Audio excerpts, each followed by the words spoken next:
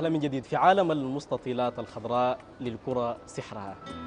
نقدم الآن فقرة التحليل الرياضي أرحب بضيفي داخل الاستوديو الأستاذ الصحفي سالم سعيد. مرحبا بك حبابك عشرة في صباح الشروق وعلى قناة الشروق. مرحبا بك صباح الخير عليك صباح الخير على السادة المشاهدين. حبابك عشرة أستاذ سالم خلينا نبدأ بمباراة المريخ والأهلي الليبي وقراءة حول الوضع العام للفريقين. آه نعم المريخ يخوض مباراة الأهلي الليبي آه السبت الجمعة آه في الأبيض. وهو خارج من بطولة كأس السودان وهو آه خاسر لبطولة الدوري الممتاز. يعني معطيات كثيرة أدت إلى خروج المريخ خالي الوفاض من الموسم الكروي 2022 وهو أمام مباراة حتمية.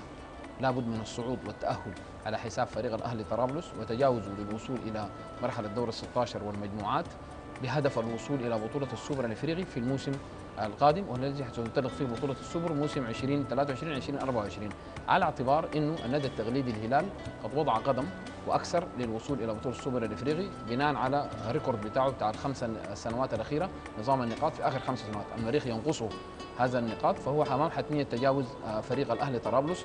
الوضع شوية صعب في المريخ يمكن بدرجة كبيرة. اثر الخروج من كأس السودان كانت في تدريبات عدد من من التدريبات في في الخرطوم.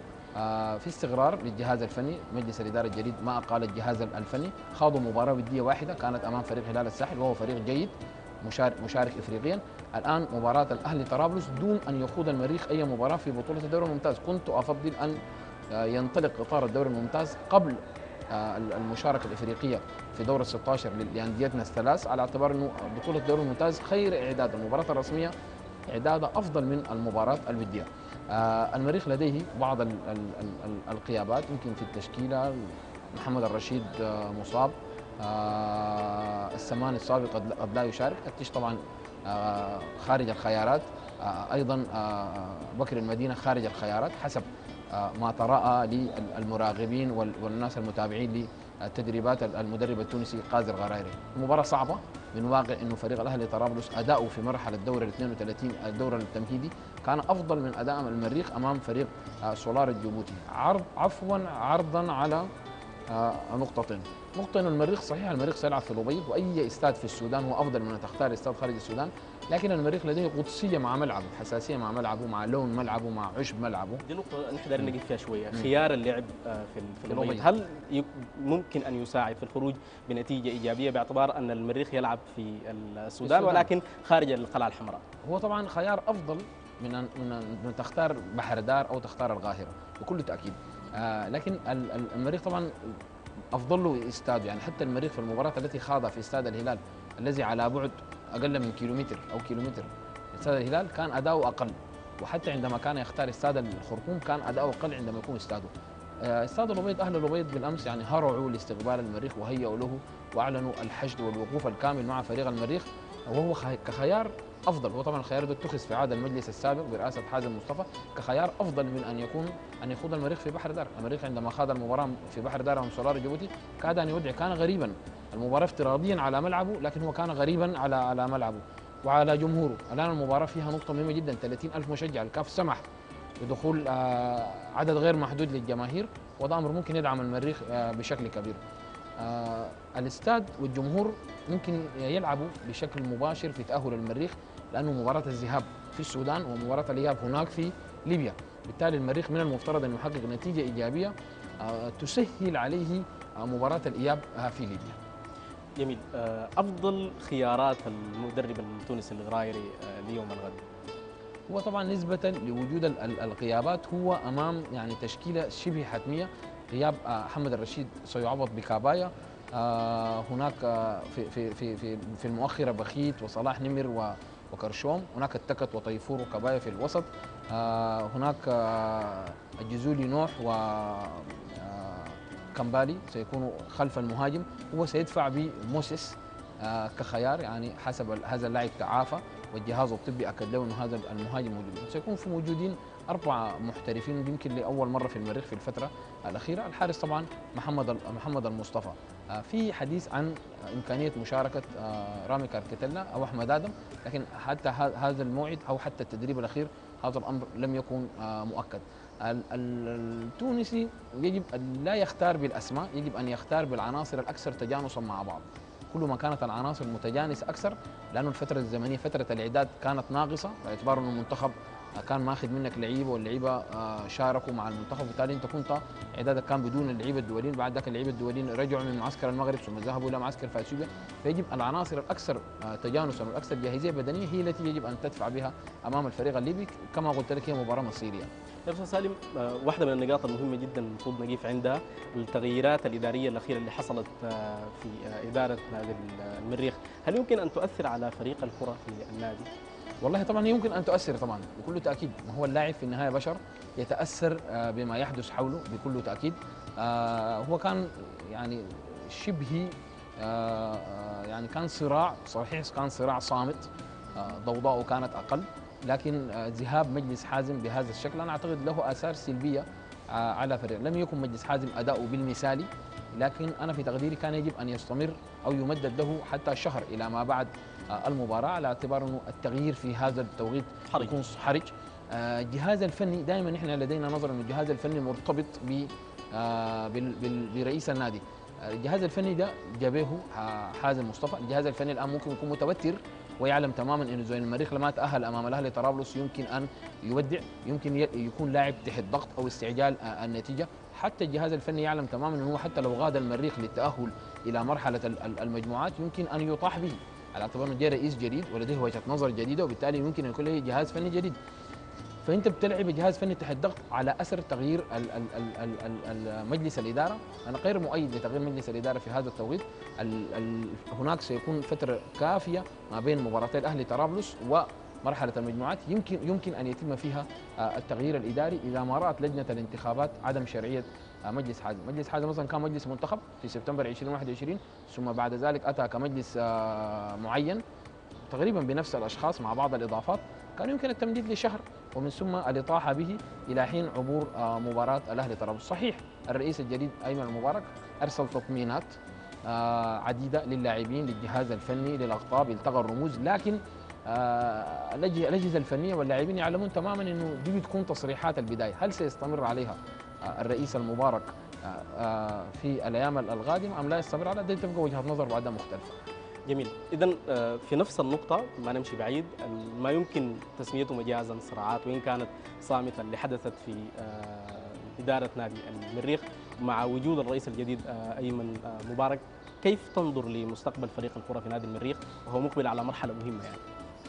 والله هو المستقبل في توجس طبعا لأنه كل مجلس اداره بيجي جديد. يعني الآن أنت آه، في مجلس حازم ابتدع مسألة المدير الرياضي ودي كان مسألة ما موجودة.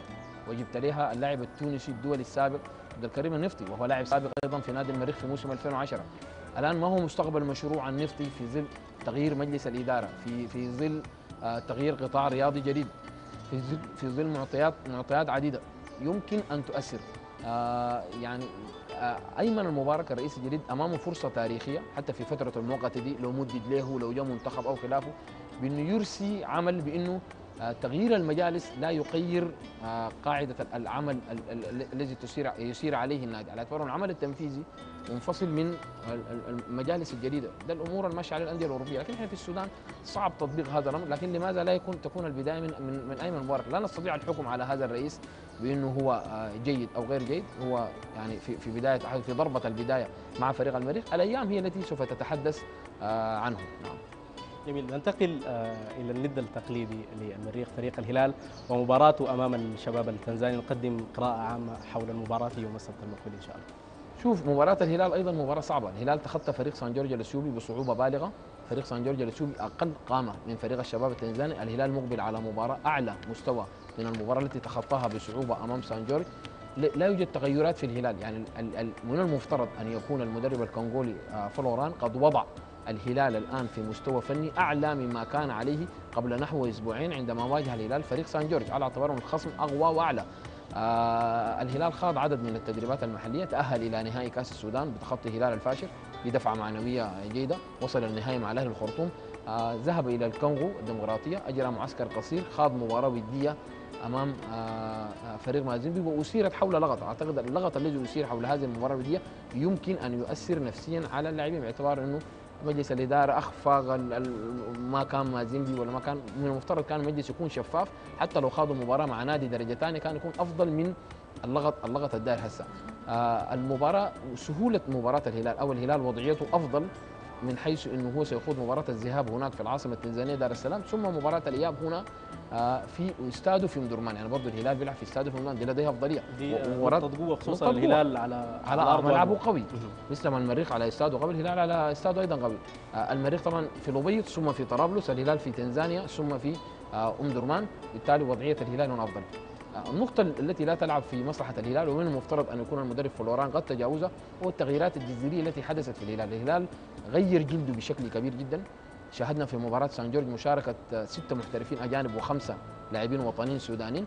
بالتالي كان في تغيير جذري في التشكيلة أدوا إلى أنه آه، الهلال لم يكن بالقوة المتوقعة آه، أستاذ سالم معلش المقاطعة لكن أثر التغييرات اللي حصلت في الهلال دي آه، كيف ممكن تاثير؟ هل آه، التوليفة بتاعت اللاعبين؟ هل في الإعداد البدني؟ في في شكل ال- التعرف على مثلا آه، نظيرهم الشباب التنزاني؟ في توليفة اللاعبين أولا العناصر الموجودة الجات الأجنبية اللي دخلت تشكيلة الهلال واقتحمت تشكيلة الهلال حصل تغيير جذري في أكثر من 50 إلى 60% في تشكيلة الهلال طيب التغييرات الجذرية عندما تكون يجب للفريق أن يخوض عدد مقدر من المباريات الودية حتى ما يصل هؤلاء اللاعبين إلى انسجام كامل. الأمر الذي لم يحدث. على اعتبار غطار الدوري الممتاز لم لم ينطلق. طبعا في مباراة برضو النقطة دي للمريخ والهلال. ستكون في بطولة الدوري الممتاز. سيخوضها الفريقين المريخ والهلال ما بين المباراتين. اللي هو في ما بين مباراة المريخ آه، مع أهلي طرابلس ومباراة مباراة الهلال مع تنزانيا. وأتمنى إنه ما يتم تأجيلها ما يتم تأجيلها مجاملة لأنه خوض هذه المباراة فيها إعداد جيد للفريقين. الهلال. برضو اللعيبة كانوا في معسكر في المغرب ثم معسكر في أثيوبيا ودخلت عناصر وديه آه، آه، عناصر أجنبية خضت عدد من المباريات الوديه بعناصر غير مكتملة. بالتالي التوليفة حقتك لن تصل إلى الوضع المثالي في التوليفة حقتك. دي ممكن تكون من النقاط الضعيفة آه، في آه، يد المدرب الكنغولي فلوران. تحدث أيضا عن معسكر الكونغو وما صاحبه من إيجابيات وسلبيات ودوره واسهامه في إعداد فريق ال- الهلال المعسكر أتى بدنيا لمصلحة فريق الهلال ونفسيا آه، ضد فريق الهلال. على اعتبار إنه في إخفاق حصل آه، بتسمية إنه الفريق هو مازيمبي والفريق ما طلع فريق مازيمبي طلع فريق آخر. كان ممكن الهلال يخوض مباراة ما هو ما إلا تخوض مباراة ودية مع مع مع نادي آه، من الليفل الأول. ممكن تخوض مباراة مع نادي من المستوى الثاني ما هي مباراة تحضيرية. ما مشكلة. لكن أعتقد اللغط الذي حصل أثر بشكل سلبي واضطر إلى انه مجلس إدارة الهلال يرد علنا عبر لسان آه، نائب الرئيس الباشمهندس العليقي. كان ممكن أن يتلافى الهلال هذا الأمر ويتحاشاه بخوض مباراة معلنة ايا كان آه، اسم النادي. آه، الجهاز الفني يجب أن يعزل يعني لا يصور للاعبين إنه هذا خطأ إداري أو يحمل الأمر أكثر مما يحتمل. هي مباراة ودية خاضها الهلال. المدرب عنده فيها فهم تكتيكي معين طبقه في هذه المباراة آه، بغض النظر عن النتيجة خسارة أو عدم خسارة وصل إلى آه، غايته من هذه المباراة الودية وده يجب إنه المدرب دي الرساله اللي يوصلها المدرب للاعبين دون ال- الحديث عن آه، المباراة مع مازيمبي أو مع نادي آخر. سالم قبل ما ننتقل للمحور الأخير في التحليل الصحفي اليوم في نقطة مهمة جدا ويمكن قبل شوية ذكرتها ال- المشاكل الإدارية اللي ممكن تحدث في فريقي القمة أو غيرها من بقيه فروق ال- ال- الممتاز. وتأثير النفسي على اللاعبين معروف إنه مع الإعداد البدني للاعبين خصوصا لما يكونوا دارين يخوضوا مباراة آه، إفريقية أو في آه، مباراة في في أي من الدوريات خارج السودان بيتم تأهيلهم تأهيل نفسي قبل التأهيل البدني. وقبل شوية آه، تكلمنا عن الصراعات اللي كانت حاصلة في إدارة نادي المريخ وما حدث في آه، معسكر الكانجو بالنسبة للهلال ودور الحاجة دي في آداء الفريقين. ولا طبعا المعسكر المشاكل النفسية بتلغي بضلالها مع التفاوت فيها. يعني الآن الصراع في المريخ أعلى آه، أعلى ضوضاء أعلى من الصراع في الهلال فيه استقرار لكن فيه أحاديث هنا وهناك متناثرة. الموضوع ده عنده أثر والصراعات عندها اثرها على اعتبار ان الصراعات تؤدي إلى استقالات الصراعات تؤدي إلى انفطار مجلس يعني وده استغراء التاريخ بيقول كده في في في في العمل الإداري الرياضي في في السودان. آه، واللاعب آه، بينظر إلى هذا الأمر بخوف لمستقبله هو لأنه هو بيتلقى مرتبه لأنه أنت لا تملك مؤسسات الأندية هذه الأندية لا تملك مؤسسات مالية تدعم. هذه الأندية تعتمد على جيوب هؤلاء الأفراد الذين يتصارعوا. فإذا حصلت مشاكل بين ال- الأشخاص أو شخص منهم ذهب أو آخر اللاعب بيخاف على مستقبله المالي بيخاف على مرتبه. مرتبه جاي ده هو حياخده من استحقاقاته المالية. هو حياخدها من وين؟ ودي أمور حصلت. من قبل ذهب رئيس أتى رئيس آه، في لاعبين حقوقهم راحت. على اعتبار هم كانوا عندهم وعود من رئيس موجود. الرئيس ده مشى جاء رئيس ثاني أو نائب رئيس. ففي خوف بكل تأكيد طالب في خوف. طالما الأندية حقتنا الآن لم تصل إلى مرحلة أن تكون مؤسسة ويكون الوضع المالي آه، لديه نظام مالي قائم منفصل عن ما يحدث في مجلس الإدارة. مباشرة إلى مباراة الهلال بورت سودان في مصر. هل يمكن أن تصب هذه المباراة في صالح بيراميدز المصري أم آه، يمكن أن تكون لصالح الهلال بورت سودان طبعا بكل تأكيد لصالح فريق بيراميدز المصري. وخوض هلال الساحل لمباراتيه أمام بيراميدز آه، في مصر جزء من الهوان الرياضي الذي يحدث في الفترة الأخيرة. المريخ آه، خاض مباراته في بحر دار أمام سولارا خاض أمام زاناكو التنزاني الزامبي في في القاهره خاض مرحلة مجموعات في القاهره فريق أهلي مروي خاض في القاهرة مباراته امام غرماهيا ال- ال- الكيني. آه، فريق حي الوادي نيالا في الموسم الماضي آه، خاض مباراته امام الأهلي بنغازي هناك في آه، في في في ليبيا. فده جزء من ما يحدث من تراجع للكرة السودانية في آخر سنتين على اعتبار لا توجد ملاعب وإنه لأول مرة منذ بداية مشاركات أنديتنا في العام 66 إلى الآن يا دوب في آخر سنتين أنديتنا أصبحت تخوض استحقاقات رسمية لها في البطولات الإفريقية خارج خارج إطار الغطر السودان في الخارج ده, أمر أعتقد محزن للغايه آه خوض هلال الساحل لمباراتها أمام بيراميدز في الغاية هو تسليم تسليم لمفاتيح التأهل للنادي المصري. أصلا النادي المصري هو أعلى شانا من هلال بورسودان النادي المصري آه، أحد أعلى خمسة أندية من في التعاقدات داخل قارة إفريقيا. لديه تعاقدات. كان فيه استثمارات سعودية في النادي وكان في تعاقدات عالية جدا في النادي. النادي المصري الآن هو ثاني الدوري المصري أمام الأهلي وخلف الزمالك وكان منازع معهم على لقب الدوري. فهو نادي قوي. إذا خاض هلال الساحل المواجهة مع فريق بيراميدز المصري ذهابا وايابا في بورت السودان وفي وفي في وفي في القاهرة الكفة تميل إلى مصلحة بيراميدز. ناهيك عن إنه المباراتين تلعب في مصر وبالتالي كل أوراق التأهل في مصلحة فريق بيراميدز. صحيح فريق هلال الساحل بيقدم في مستوى رائع مع المدرب نادر هبوب الذي اختير أفضل مدرب في الدوري الممتاز النسخة الماضية لكن كل هذا لا يشفع له على الورق لتخطي الفريق المصري. بعد ذاك على أرض الملعب كرة القدم تبقى كل الأمور ممكنة. أستاذ يمكن ما يحدث آه، لهلال بورت السودان أو هلال الساحل من من إعداد وجوده آه، خارج السودان في مصر لخوض المباراة القادمة. وضعف فرصه في ال- الفوز يقودنا لتساؤل مهم جدا، التساؤل ده اللي هو ضعف المنافسة في الدوري ال- الممتاز تضعف الفرق ال- ال- المشاركة السودانية، زمان شفنا الأمل عقبر ومريخ الثغر والكثير من ال- الفرق اللي كان منافستها قوية وممكن تهزم المريخ والهلال في استاده وبالتالي الفروق الغ- القمة بتجيب منها الشباب والنجوم عشان آه، تدخلهم جوا آه، التشكيلة بتاعتها وتنافس بهم في البطولة الإفريقية. فما يحدث لهلال آه، بور السودان أو هلال ال- الساحل الآن آه، ومقارنته مع ضعف ال- المنافسة في الدوري الممتاز السوداني. طيب هو طبعا لأنه المنافسة لم تقم بال- بالنظام الطبيعي اللي هو نظام الذهاب والإياب الهوم آه لاستثناءات حصلت. يمكن الاتحاد برضه ما عنده فيها يد لأوضاع سياسية وأوضاع صحية وأوضاع اقتصادية في البلاد. آه منذ ثورة آه 2019 الدوري لعب بنظام التجميع في العاصمة الخرطوم النخبة آه ثم أتت جائحة كورونا أوضاع اقتصادية ارتفاع أسعار المحروقات. يعني أشياء كثيرة وجد الاتحاد فيها نفسه آه خوض مباراة الدوري الممتاز لثلاثة مواسم بظروف استثنائية ما ما بظروف نظام الذهاب والإياب. والأمر ده أضعف المنافسة. بدرجة كبيرة الآن الاتحاد أعلن تحدي في حفل القرعة قبل نحو أسبوع بأنه هو سيخوض مباراة الدوري الممتاز النسخة القادمة التي ستنطلق يوم 10 10 بعد خمسة أيام سيخوضها بالنظام التقليدي نظام الهوم واي بتاع المدن. ده من شأنه أن يرفع يرفع. قيمة المنافسة. باعتبار أن الهلال المريخ يذهبوا إلى عطبرة يذهبوا إلى الفاشر يذهبوا إلى نيالا لخوض مباراة وتحديات صعبة تشبه هذه المباراة بما تواجهه هذه الأندية في البطولة الإفريقية. يعني نادي الهلال بورسان وقت يمشي منذ صعوده قبل سنتين آه، كنت يمشي يلعب في في في الأبيض ويلعب في الفاشر ويلعب في عطبرة ويلعب في شندي هذه المباراة بتشغله وبتجهزه افريقيا لكن أن تخوض النظام بنظام المجموعات الافتراضية بتاع الموسم الماضي أو نظام التجميع بتاع الدورة الثانية في الموسم الماضي آه، يضعف المنافسة والمنافسة الضعيفة تخرج أندية ضعيفة للمواجهات الإفريقية. جميل. الآن يمكن أستاذ سالم جماهير آه، فريقي نادي الغمة آه، بيتساءلوا عن مصير الفريقين في في المشاركة. وده يمكن حتى بيصعب حتى على المحللين الرياضيين أو المهتمين بالتكهن بنتيجة ال- ال- الفريقين أو مستوى الفريق في في المنافسة. خلينا نقيف في قراءة عامة حول وضع الفريقين الهلال والمريخ حاليا من ناحية ال- الإعداد البدني ومن ناحية ال- التجهيزات الكروية اللي ممكن آه، تأهلهم للفوز في مباراتينهم القادمات أمام الأهلي طرابلس والشباب التنزاني. طيب ال- ال- ال- المريخ من نقاط قوته إنه الإحلال والإبدال بتاعه ما عالي. في تجانس كبير مدرب هو نفس المدرب بتاع الموسم ال- ال- ال- الماضي هو غازي الغرايري الذي خاض 13 مباراة في الموسم الماضي. آه، في استقرار فني في فريق المريخ. ما في تغييرات جذرية في تشكيلة ال- ال- الفريق. عناصره شاركت مع المنتخب أساسية آه، يعني اعدادها عالي بنسبة كبيرة. دي العناصر التي تلعب لمصلحة المريخ. هناك عناصر خصم على المريخ آه، صراعات وتغييرات إدارية.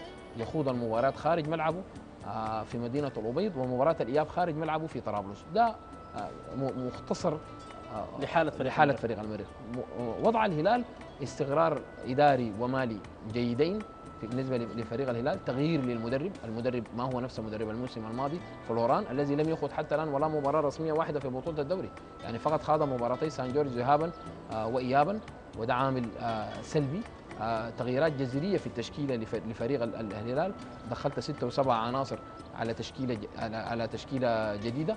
آه، خوض آه، مباريات ودية أسهمت اعلاميا خصما على فريق الهلال. جاب سيمبا وجاب الاشانتي يعني عملوا ضوضاء للانتصارات التي حققها فريق الهلال وديا. أربعة وثلاثة صفر في استاده هذه أمور تخصم وتزيد لفريق الهلال. يتفق الفريقين في أنه آه، عناصر ما بدأت الإعداد معهم كانت مع مع المنتخب. وبعد ذاك هي آه، الإعداد لم يكن مكتمل وبعد ذاك هي جات من المنتخب وثاني سافرت إلى معسكر آه، في أثيوبيا. ويتفقوا أيضا في عدم خوض أي مباراة رسمية حتى الآن. يعني كل ال- الأندية اللي هم بيواجهوها خاضت استحقاقات في البطولات المحلية حقتها في تنزانيا وفي ليبيا. الهلال والمريخ لا. طيب آه، قراءة سريعة حول الأسبوع الأوروبي في آه، دوري الأبطال. حقيقة الأسبوع الأوروبي أتى بمفاجآت ولم يأتي بمفاجآت. يعني يمكن من من ال- من المفاجأة التي تحدث هو قوة فريق نابولي، نابولي فاز على أياكس أمستردام 6-1 في واحدة من أكبر النتائج التي تحققت على فريق متوج بلقب دوري الأبطال على أرضه. وأمام جمهوره دي, دي نتيجة يعني كب- كبيرة للغاية. أكدت أنه فريق نابولي حتى الآن هو آه، فريق من حيث الأداء والقوة وال- وال record التهديفي في بطولة دوري أبطال. آه، بايرن ميونخ وريال مدريد يمضيان للمنافسة حول لقب يبدو إنه هم يعني مرشحين له. نالوا العلامة الكاملة حتى الآن في ثلاثة جولات. ريال مدريد اربعه ثلاث انتصارات. بايرن ميونخ آه ثلاث انتصارات. أداء أداء قوي أداء مقنع بالن- بالنسبة للفريقين. يبدو إنه هم سيكونوا منافسين. سقوط برشلونة يعني أمام الإنتر أكد على إنه الفريق صحيح محليا قوي وينافس فريق ريال مدريد لكن اوروبيا لا يزال الفريق الأسباني آه، الكتير سقط أمام إنتر وأصبح أمام حتمية الفوز على إنتر في مباراة الإياب القادمة آه، في الكام نو وباريس سان جيرمان آه، رفض العلامة الكاملة في المباراة الثالثة وقنع بالتعادل أمام بنفيكا آه، البرتغالي. هي المباراة اللي صعبت مهمة آه، يوفنتوس آه، الذي فاز في مباراة الأمس لكن أصبح أمام وضعية صعبة للغاية. شكرا جزيلا آه، أستاذ الصحفي سالم سعيد. صاحبتنا في التحليل الرياضي في صباح الشروق. كتر خيرك. شكرا جزيلا. إذا